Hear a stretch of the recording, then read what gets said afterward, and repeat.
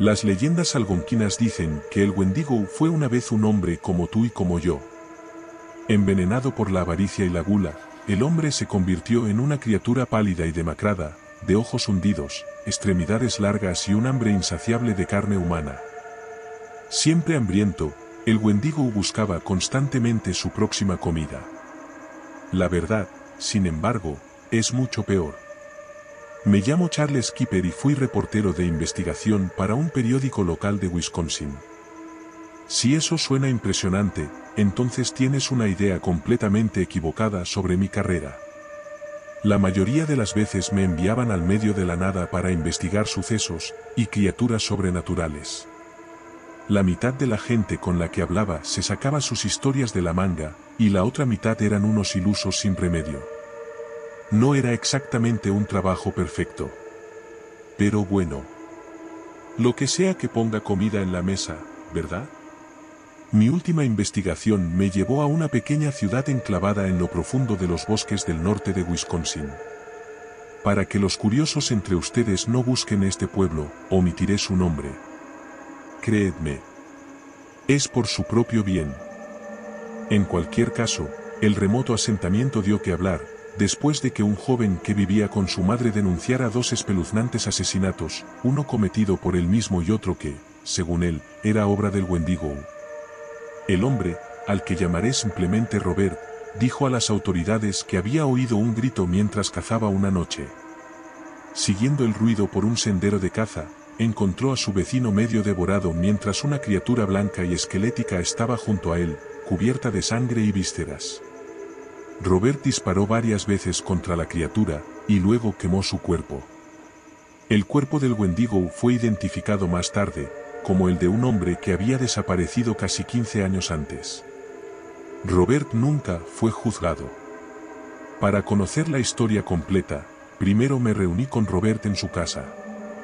Me di cuenta de que no era la mejor idea visitar a un asesino confeso en su propia casa. Sin embargo, me aseguré de que su madre nos acompañara.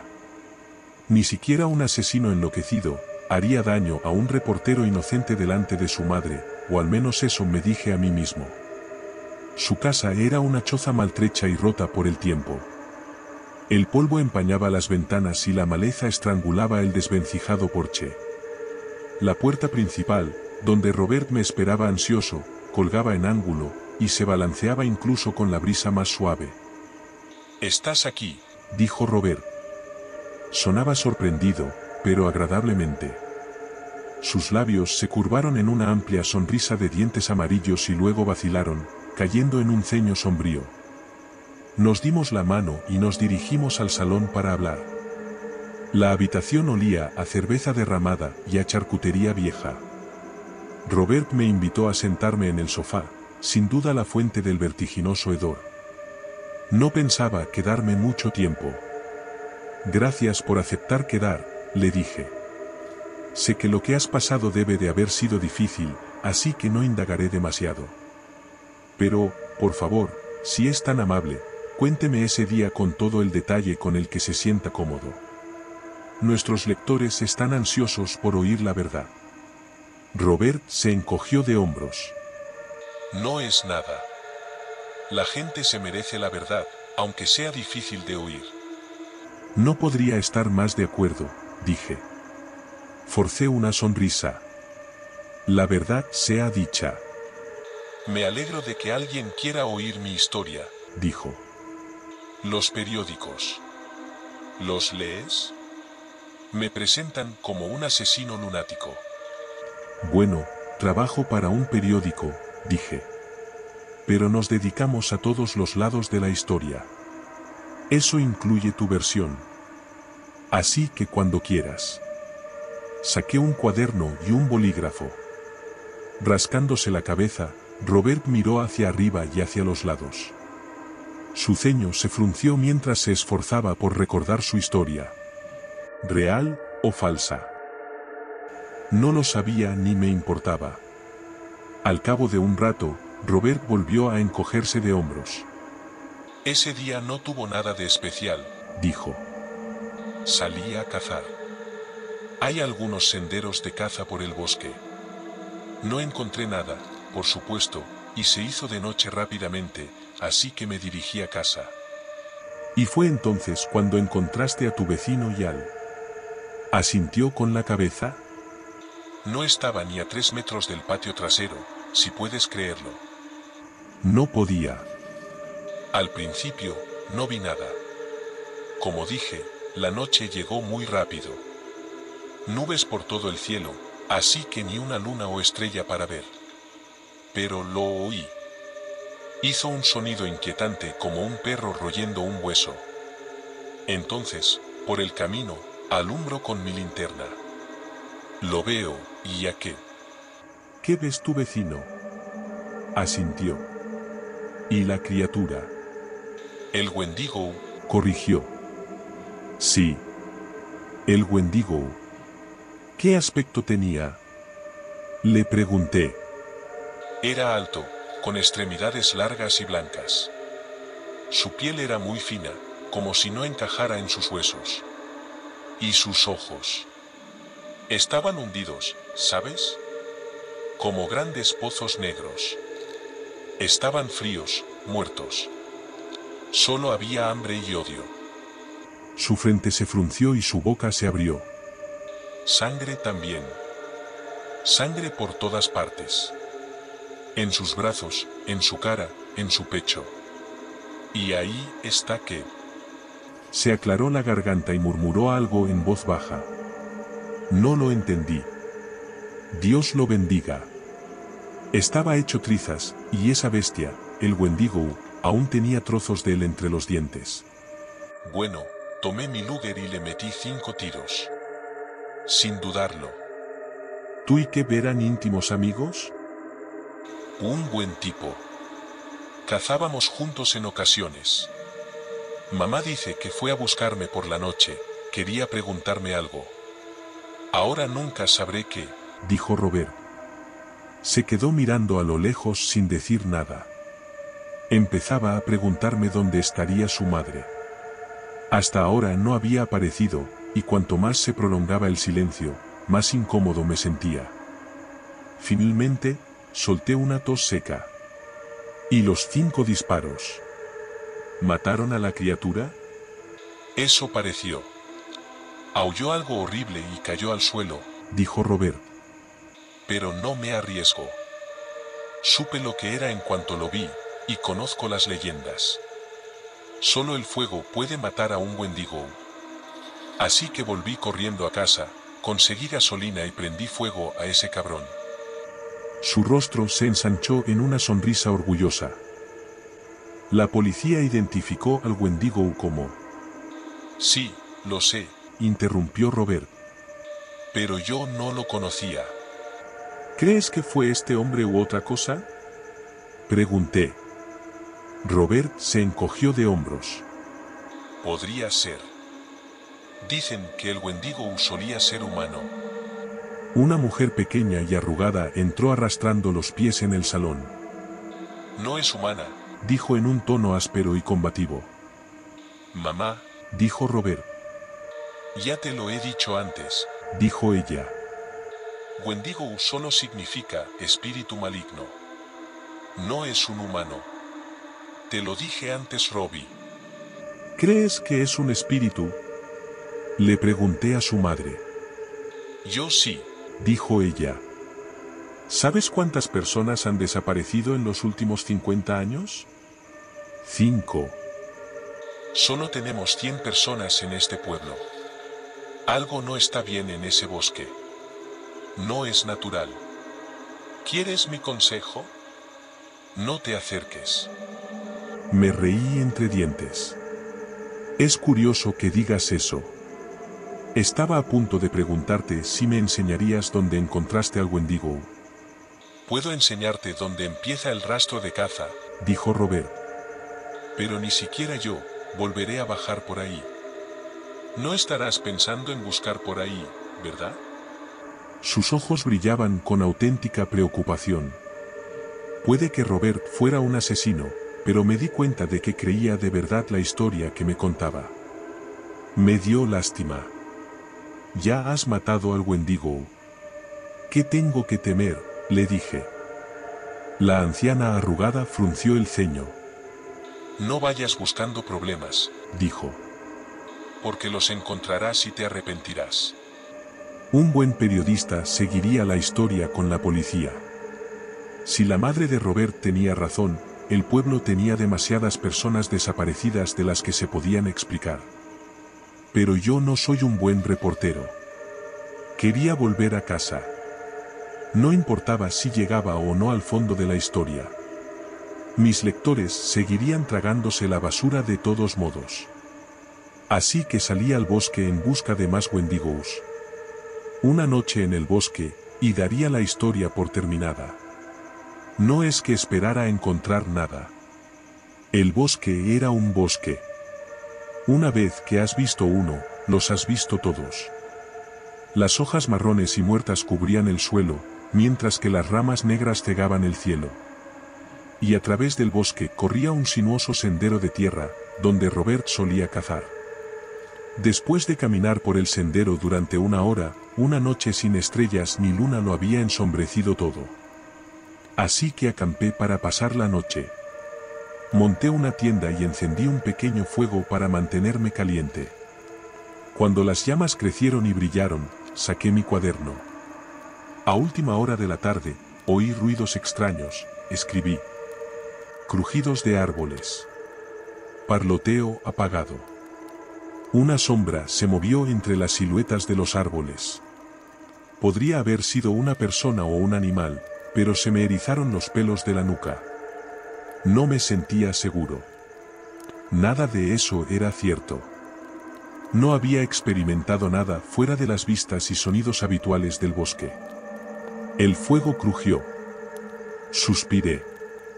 Estaba cansado de pasar noches solo en el bosque inventando historias sobre criaturas ficticias. Hay formas mucho mejores de pasar el tiempo y ganar dinero. Aún era joven. Quizá podría cambiar de periódico y escribir algo real para variar. Oí otro crujido. Luego otro. Esta vez no provenían del fuego. Entrecerré los ojos en la oscuridad del bosque. Tenía que ser algún tipo de animal. Todo tipo de animales salían por la noche a buscar comida, zarigüeyas, mapaches, zorrillos, etc. Pero mientras buscaba en el bosque, vi que las ramas se doblaban y se rompían. El animal era grande. Tal vez un coyote. ¿Qué otra cosa podría ser? Las hojas crujieron. El sonido estaba cerca. Fuera lo que fuese, se acercaba al fuego. Busqué con la mirada el origen del ruido, y pronto vi una sombra oscura que pasaba de un árbol a otro. Robert. Pregunté a la figura oscura. ¿Eres tú? No obtuve respuesta. Robert. Nada. Ahora me estaba asustando. Contra toda lógica, consideré la posibilidad de que Robert y su madre tuvieran razón. Tal vez existían los Wendigos y los espíritus malignos. Dios, esperaba que no. Por si acaso, cogí un tronco y encendí un extremo en el fuego. Robert dijo que solo el fuego podía matar a un Wendigo. Probablemente era mentira. Pero, ya sabes, más vale prevenir que curar. Al poco rato, los ruidos cesaron. Esperé y escuché con el tronco en llamas en la mano. Pasaron minutos, uno tras otro. Pero el bosque estaba en silencio. Tras varias respiraciones contenidas, me relajé. La hoguera, de la que casi me había olvidado, se había consumido hasta sus últimas brasas. Las oscuras brasas humeaban débilmente. Así que coloqué mi arma improvisada encima e intenté avivar el fuego. En ese momento, oí el crujido de las hojas a mi espalda. Me di la vuelta. Pero no había nada. Solo mi tienda, temblando ligeramente por una brisa fresca. Encendí el fuego hasta convertirlo en una gran llamarada, cuyo calor y luz me dieron fuerzas. Durante horas, observé el baile de las llamas y escuché cualquier ruido, grande o pequeño. Afortunadamente, no oí nada. Cuando el fuego se apagó, Estaba agotado pero tranquilo. Una vez superados mis miedos, me dirigí a mi tienda para descansar. Fue entonces cuando lo vi por primera vez, el Wendigo. Su rostro, nada humano, era un cráneo pálido, adornado con una cornamenta negra y nudosa. Para caber dentro de la tienda, la imponente criatura encorvó sus extremidades. Pero su cuerpo no estaba pálido ni demacrado como Robert había descrito. A primera vista, era carne sólida y negra, con músculos anchos y abultados. Y al siguiente, era una niebla vaporosa. Sin embargo, no pude mirar demasiado antes de que me dejara inconsciente de un golpe en la cabeza. Me desperté en una cueva sucia, con un dolor de cabeza atroz, y un escalofrío que me recorría la espalda. Estaba desnudo, atado a una losa de roca y completamente aterrorizado. A mi lado había otras dos losas, cada una con un cuerpo pálido y desnudo. Incluso en la oscuridad, podía ver la curvatura de sus huesos, tan apretados contra la piel, que pensé que podría reventar. Estaban muertos. Tenían que estarlo. Sin embargo, cuando pedí ayuda, los dos cuerpos se agitaron de repente, como si despertaran del sueño. ¿Estás, estás vivo? Gracias a Dios, dije. ¿Dónde estamos? ¿Cuánto tiempo llevas aquí? ¿Qué está pasando? Por todas mis preguntas, solo recibí gruñidos y gemidos ansiosos como respuesta. Las dos personas inclinaron el cuello para mirarme. Cuando vi sus caras, grité de horror. No eran personas. Ya no lo eran. Sus ojos se habían hundido en el cráneo y sus dientes se habían estrechado hasta convertirse en puntas bestiales. Llagas sangrientas manchaban sus cabelleras sin pelo y cicatrices marcaban sus mejillas demacradas. Cuando me miraban, rechinaban los dientes y se relamían los labios destrozados. No me cabía duda de que Robert había visto a una de esas criaturas. Pero, ¿por qué estaban atados? ¿Y qué era la criatura que vi en mi tienda? No lo sabía. Las tres losas de piedra, daban a un largo túnel que se adentraba en la ladera, lejos de la luz. Me esforcé por ver su final. Pero no veía nada. Y cuando miré más profundamente en el túnel, vi emerger en silencio una calavera blanca y una cornamenta negra. ¡Ey! dije. ¿Quién eres? ¿Qué quieres? La criatura me miró con una mirada hueca y luego volvió a hundirse en la oscuridad. El corazón se me aceleró en el pecho mientras luchaba contra las ataduras, pero no cedían. Tanteé en busca de algo que me ayudara a escapar, pero las cuerdas me oprimían las muñecas. Solo podía estirarme infructuosamente, con la punta de los dedos. No, no, no, murmuré con voz aguda y frenética. No. Por favor. Ayuda. Ayúdenme. Mis respiraciones se hicieron cortas y superficiales hasta que me temblaron los pulmones. Por más que jadeaba, no conseguía tomar aire. Pronto, mi visión giró y se volvió negra. Cuando desperté, encontré a mi captor sentado sobre una roca. Aunque no tenía ojos para parpadear, la criatura me miraba fijamente. ¿Qué quieres? le pregunté. Ladeó la cabeza, pero no dijo nada. No eres humano. ¿Qué, qué eres? ¿Un fantasma? ¿Un espíritu? La criatura gruñó por lo bajo.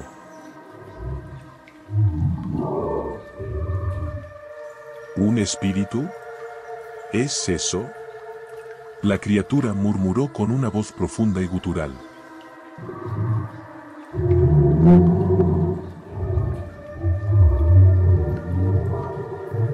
Fueran cuales fueran las palabras que pronunciara, no era un idioma que hubiera oído antes. ¿Un demonio? ¿Eres un wendigo?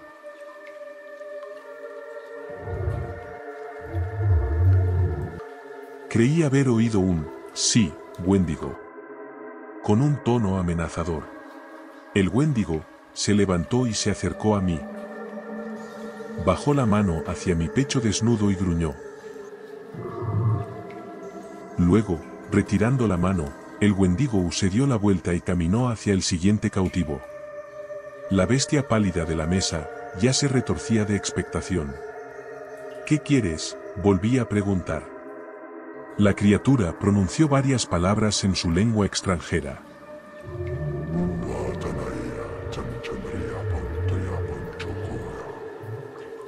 No lo entiendo, dije. La comida debe morir de hambre. Dijo mientras escudriñaba el cuerpo mustio de la cautiva. No tenía ni idea de lo que significaba, pero no me gustaba cómo sonaba. Le lancé otra andanada de preguntas, pero esta vez me ignoró. De la nada, el Wendigo sacó un cuchillo corto de acero. Sin vacilar, Presionó la afilada hoja contra la piel blanca y enfermiza del cautivo. La bestia gimió de dolor, mientras el Wendigo le afeitaba un trozo de piel. Pero una vez hecho esto, la huesuda criatura levantó la cabeza. Con la boca abierta, se estiró hacia el trozo de carne, como una flor hacia el sol. Entonces, cantando, el Wendigo alimentó a su prisionero.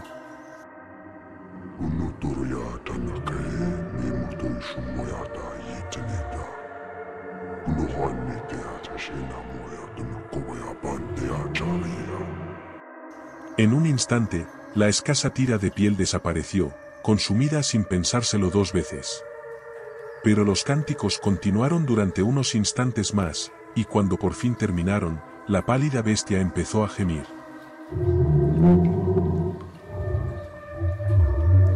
Se encogió sobre sí misma y tembló visiblemente. Deleitándose en su miedo, el Wendigo se rió.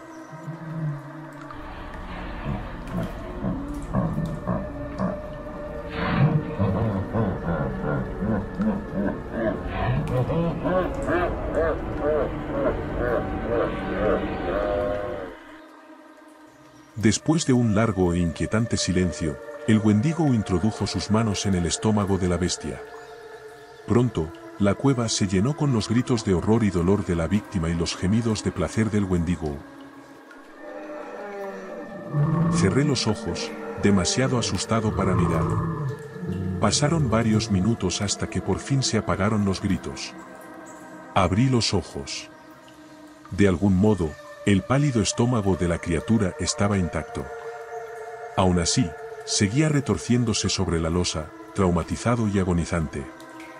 En cuanto al Wendigo, había pasado a la siguiente víctima. Una risa cruel retumbó en la cueva, acentuada por los gemidos estridentes de los prisioneros.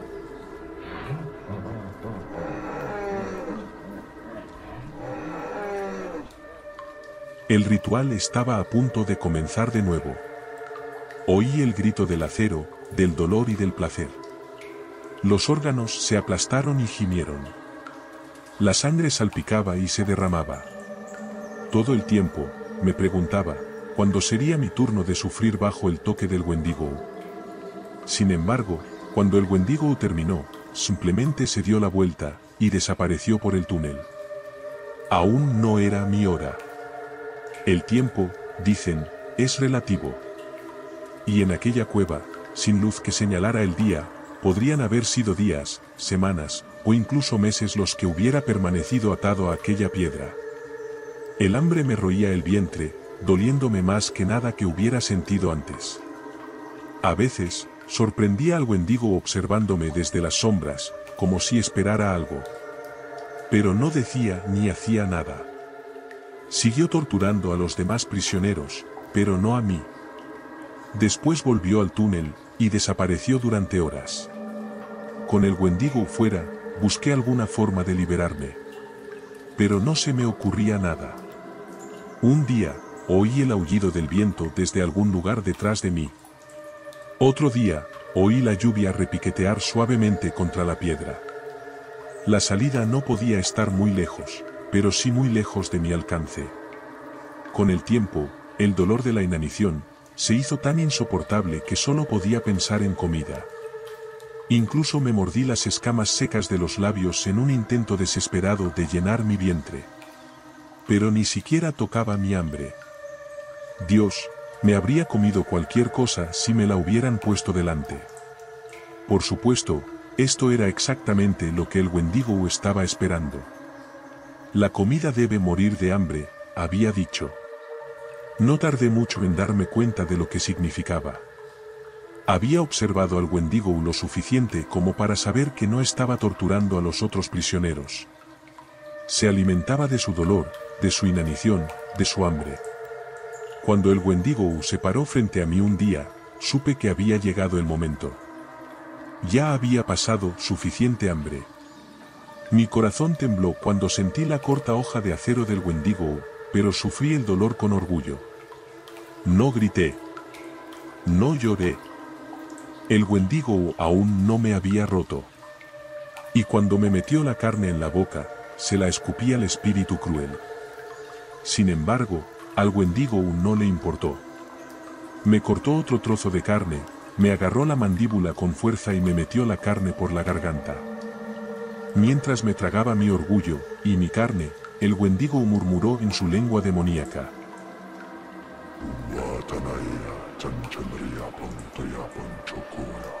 Las palabras no significaban nada para mí.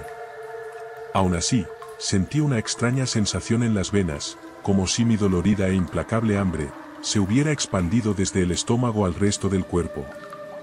Mientras reflexionaba sobre lo que me estaba ocurriendo, el Wendigo introdujo sus manos en mi abdomen. Sus dedos palpitaban mientras rodeaban mi estómago, retorciéndolo y desgarrándolo.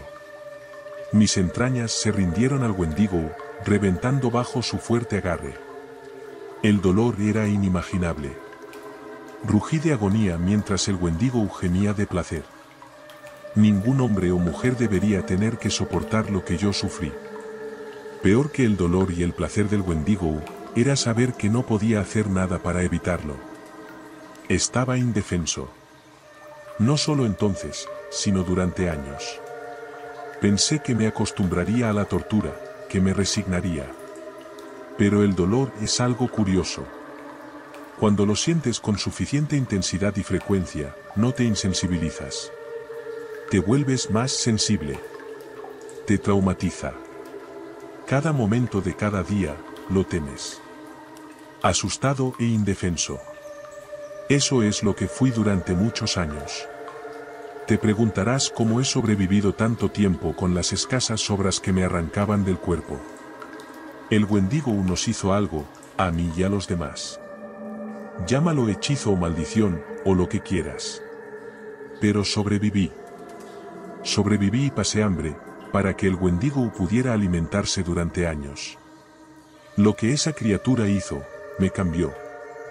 Lentamente, casi sin darme cuenta, me volví como los otros prisioneros. Se me cayó el pelo, los ojos se me hundieron en el cráneo y mi piel perdió todo el color.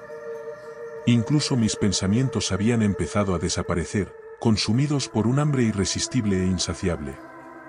Solo podía aferrarme desesperadamente a mi humanidad. Me obligué a recordar mis canciones favoritas, mis aficiones y las caras de mi familia. Pero todo se desvanecía muy deprisa. Pronto, lo supe, pronto no habría nada.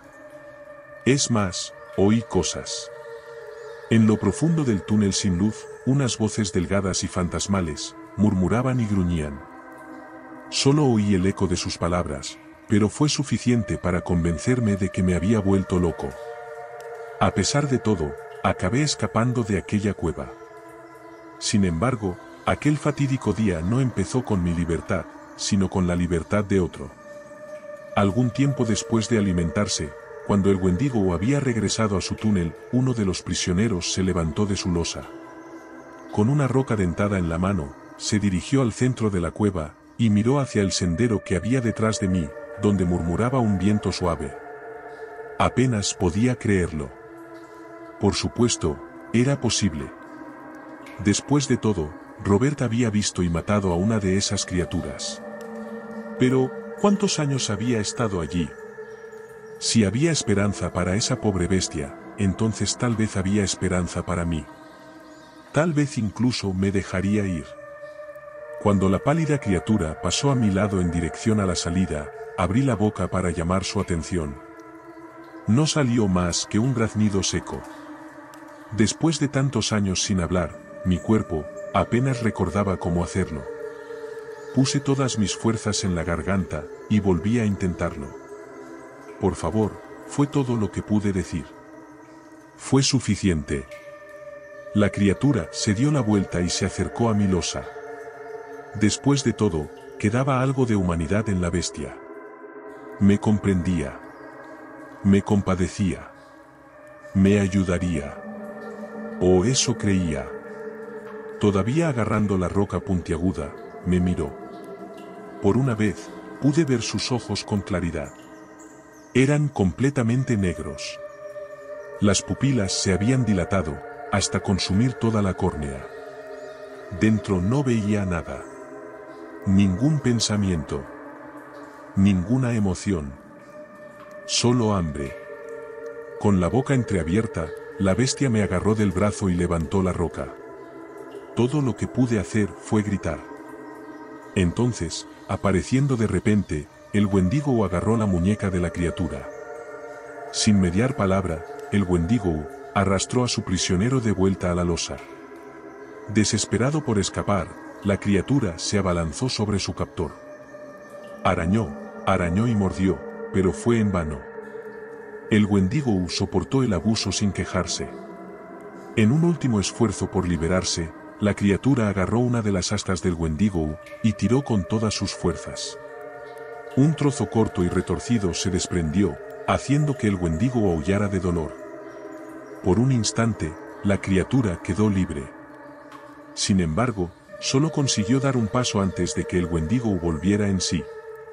Con el dorso de la mano, el Wendigo golpeó a su prisionero en la cara. Unos dientes afilados y torcidos salpicaron la cueva.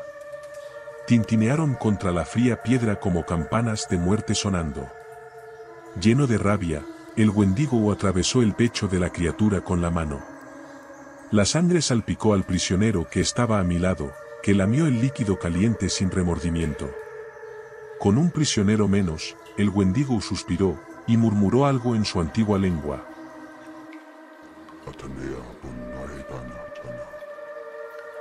Luego, agarró el cadáver ensangrentado y lo arrastró hacia el túnel.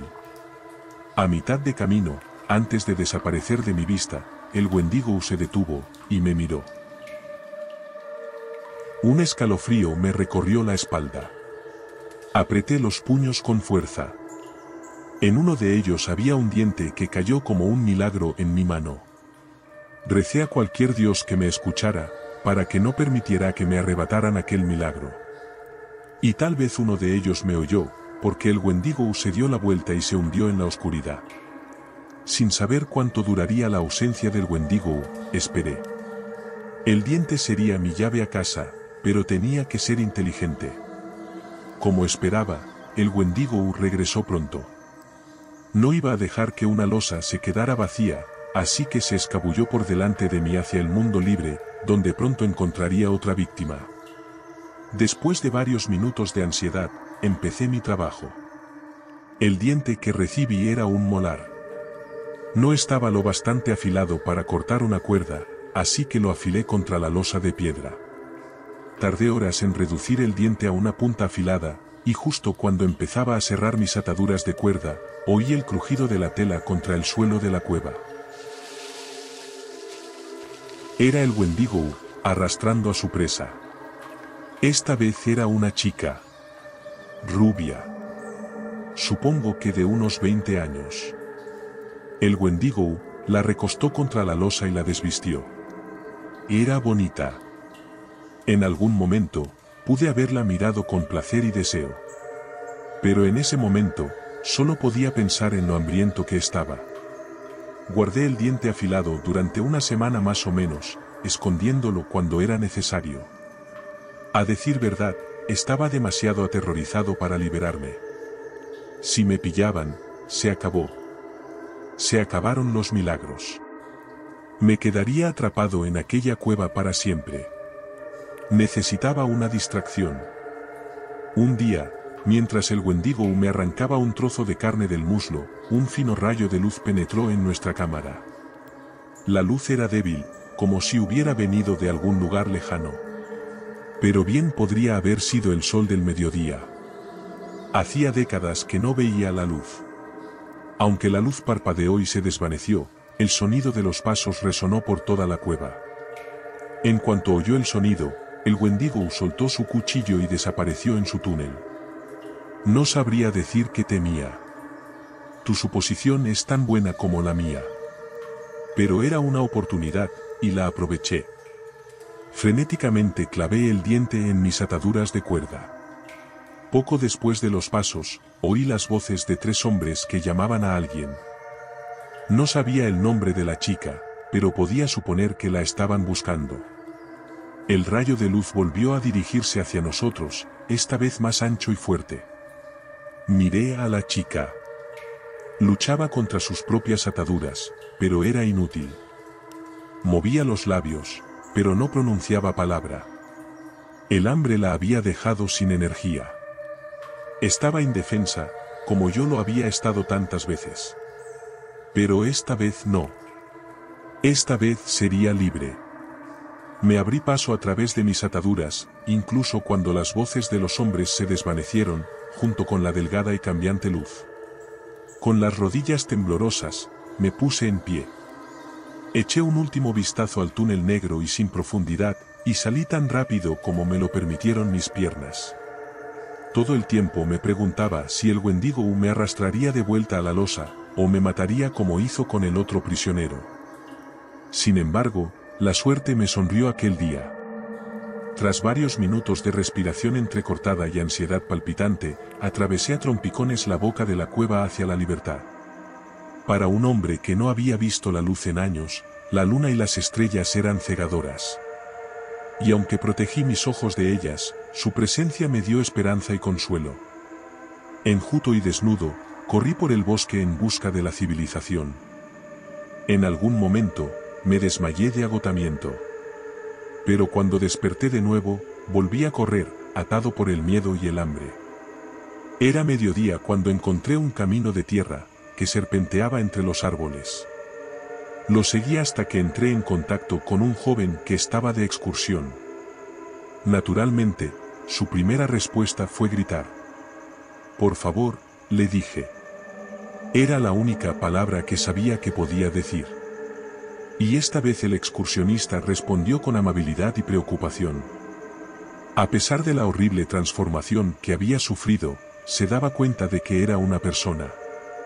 Y no solo eso, estaba hambriento, y cubierto de cortes y cicatrices. Lo siento, dijo el hombre. ¿Necesita ayuda? ¿En qué puedo ayudarle? Me acerqué un paso. Las mejillas del hombre estaban llenas y rojas de vida, y a lo largo de su cuello corría una vena regordeta y jugosa. Intenté hablar, pero esta vez solo salió un gruñido ronco. ¿Agua? ¿Necesitas agua? preguntó el hombre. Sacó una botella de plástico de la bolsa que llevaba atada a la espalda. Comida, dije. Me acerqué un paso más. El corazón me rugió en los oídos. O tal vez era su corazón lo que oía, latiendo con fuerza detrás de su grueso y carnoso pecho. Un escalofrío me recorrió la espalda. El hombre sacó una barrita de cereales de su mochila. Toma, me dijo. Alargué la mano para cogerla. Pero no quería eso, y no podía controlarme. Lo intenté. Juro que lo hice. Sin embargo, incluso con el Wendigo lejos de mí, su influencia persistía. Aparté la barra de cereal, y salté hacia el hombre, arañándole en el cuello. Me manché las uñas de sangre, cuando lamí las oscuras gotas, me supieron dulces como la nata. Sin que yo lo supiera, el hombre tenía un cuchillo. Me lo clavó en el hombro y luego me hizo un corte en la mejilla. El dolor no era peor que el que había sentido todos los días en aquella cueva, pero no quería sufrir más. Me solté del hombre y me puse en posición fetal. Mientras tanto, el hombre echó a correr, hacia la policía supongo, porque tarde o temprano un grupo de policías se me acercó con las armas desenfundadas. No mucho después, me encontré en una celda, encarcelado de nuevo. Al menos, esta vez estaba vestido y alimentado. Por supuesto, la policía tenía preguntas. Preguntas sencillas. Por ejemplo, ¿quién eres? Tardé un segundo, pero recordé. Charles. Charles Kipper, dije. Buscaron el nombre en su base de datos. Luego, volvieron con una foto. Era una foto mía. Me veía tan diferente. Apenas me reconocía. Sin embargo, fue suficiente para los policías. Jesucristo, dijo uno de ellos. Has estado desaparecido durante 15 años. ¿15? Repetí. Parecían 50. ¿Qué te ha pasado? preguntaron. Sus ojos me estudiaron detenidamente, sin dejar de mirarme ni apartar la vista. Me encogí de rodillas. No dije nada. Cuando el silencio se prolongó demasiado, mostraron otra foto. ¿Conoces a esta chica? Era la chica de la cueva. Me estremecí al verla. La conoces, ¿verdad? Levanté la vista. Me dolía encontrarme con su mirada, pero la encontré de todos modos. Por favor, dije. No quería pensar en ella. No quería pensar en el Wendigo. Por favor, no. No puedo. ¿No puedo qué? preguntó un policía. Por el color de su cara y el volumen de su voz, me di cuenta de que estaba enfadado. Lleva desaparecida una semana. Sus padres están muy preocupados. Quieren saber qué le ha pasado a su hija. ¿Y usted no puede decírnoslo? No, no me creerán, tartamudeé. No te creeremos, remató otro policía. Asentí con la cabeza. Adelante, pónganos a prueba. Si nos dices dónde está, quizá nos olvidemos del hombre al que asaltaste en el bosque, añadió otro policía. No tenía elección. No me dejarían marchar hasta que se lo dijera, así que lo hice. Se lo conté todo. A veces les sorprendí mirándose entre ellos, pensando sin duda que me había vuelto loco. Pero, en general, se mostraron receptivos. Intentaron hacer razonar mi historia. Quizá el Wendigo no era más que un hombre disfrazado. Tal vez el trauma de mi tortura había alterado mis recuerdos. En cualquier caso, dos de los policías formaban parte de un grupo de búsqueda, que investigó la cueva la noche que escapé. Aunque mi historia fuera mentira, no importaba mientras encontraran a su chica desaparecida en la cueva. Me pidieron que les ayudara a encontrarla. Había demasiados túneles en la cueva como para que pudieran encontrarla ellos solos. Pero me negué en redondo.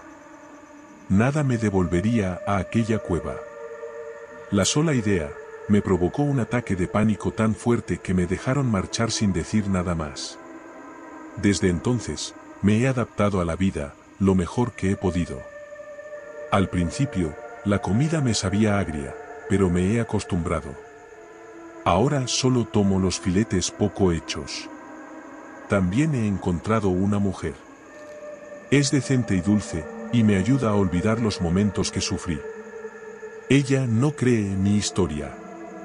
Lo noto en el tono de su voz cada vez que sale el tema, pero sabe que no debe tomarme el pelo. En cuanto a la chica desaparecida, la policía nunca me dijo si la habían encontrado. No sé nada de ellos desde que me soltaron. Espero que la hayan encontrado. De verdad que sí. Pero en los muchos años que han pasado, ni una sola vez se me ocurrió averiguarlo. A decir verdad, esta es una historia, que no quiero ver hasta el final. Si te gustan los relatos, no olvides suscribirte y activar la campanita.